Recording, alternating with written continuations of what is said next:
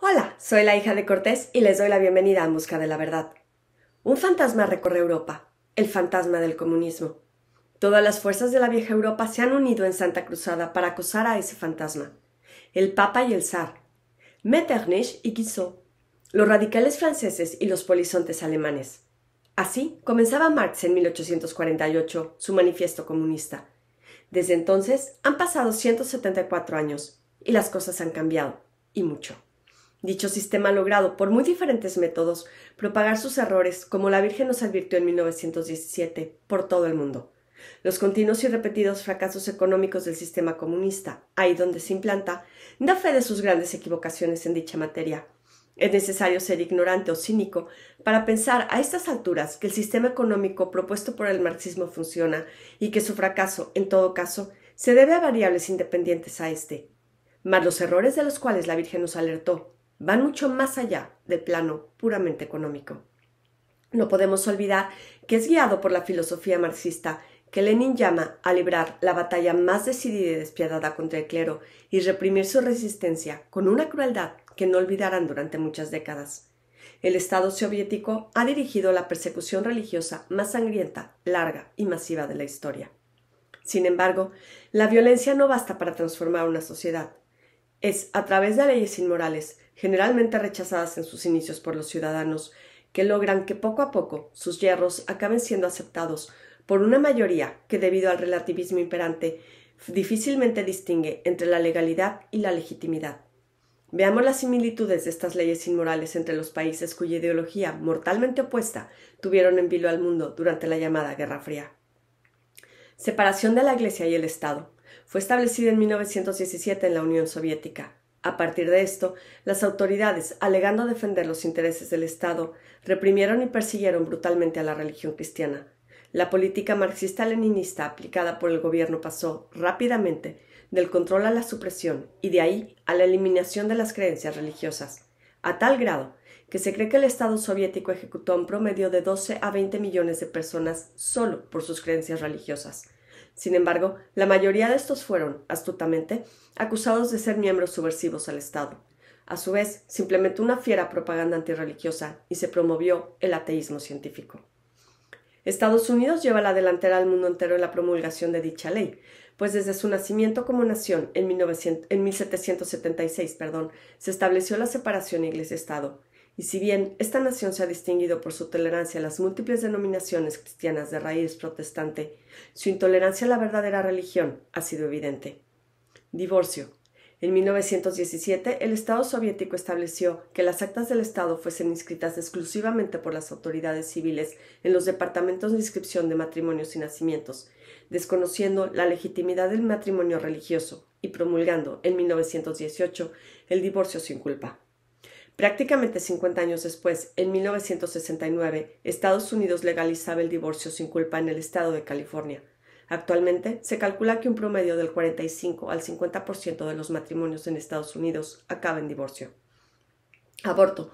Fue despenalizado por primera vez por Lenin en 1920. 53 años después, en 1973, Estados Unidos despenalizaba el aborto con el famoso y engañoso caso de Roe vs. Wade homosexualidad. Los bolcheviques legalizaron las relaciones sexuales entre personas del mismo sexo en 1917. En 1950, en los Estados Unidos, el comunista Harry Hay fundaba la primera organización de derechos de los homosexuales en la historia, llamada Mattachine Society.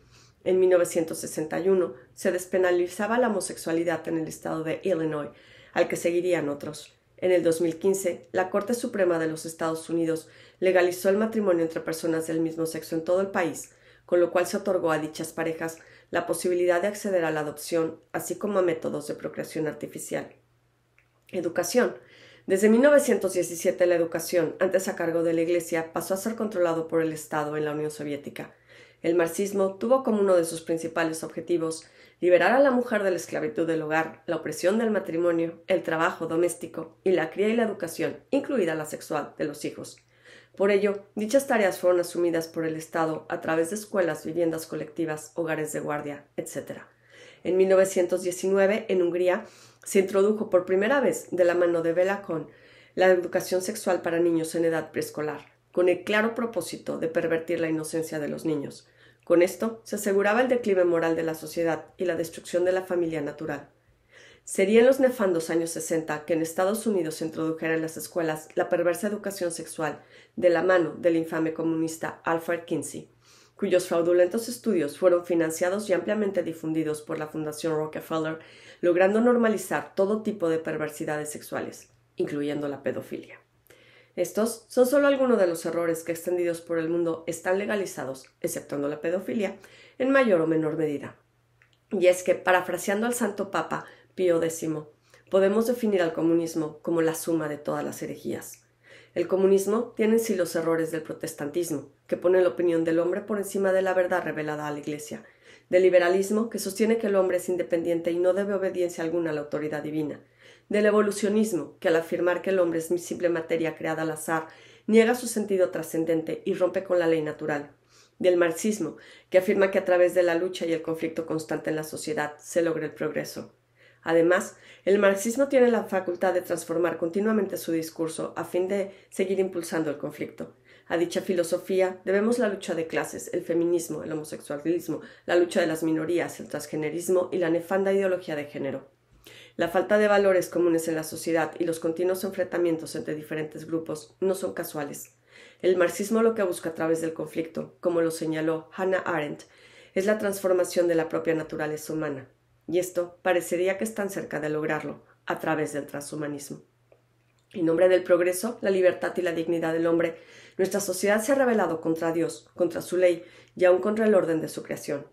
El resultado de esta rebelión es tan evidente como atroz. Fuimos advertidos, e independientemente de si se ha realizado o no, como la Virgen lo solicitó, la consagración de Rusia a su Inmaculado Corazón, la mayoría de los fieles hemos ignorado su llamada a la conversión, así como su amorosa solicitud del resto del Diario Rosario y la devoción de los cinco sábados primeros de mes.